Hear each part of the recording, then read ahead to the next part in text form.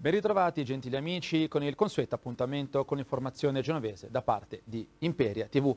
Partiamo subito dall'allerta meteo perché il grado è avanzato a quello rosso, infatti meteo da brivido e fiato sospeso a Genova dove il vento ha soffiato a più di 100 km orari sin dalle prime luci dell'alba dove importanti fenomeni temporaleschi hanno raggiunto la costa provocando rovesci.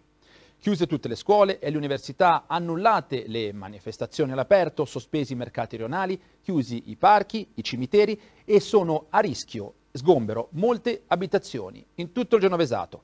Si tratta di un vero e proprio coprifuoco, quello che fino alla mezzanotte di oggi terrà con il fiato sospeso tutta la città.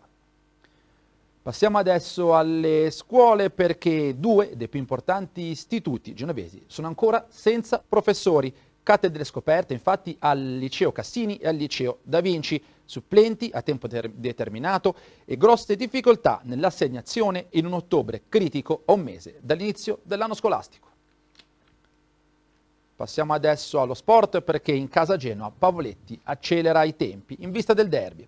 L'attaccante di Livorno ha scambiato più di qualche passaggio e sta facendo di tutto per riprendersi il prima possibile e farsi trovare pronto da mister Juric per rientrare in occasione della stracittadina genovese. Passando invece alla Sampdoria, domani i blucerchiati giocheranno a Pescara e la partita è certamente di quelle da non sbagliare. Giampaolo è stato messo in discussione dal presidente Ferrero già durante tutta la settimana, anche prima della sosta per la nazionale, altro motivo in più per evidenziare quanto la gara sia di fondamentale importanza in casa Sampdoria.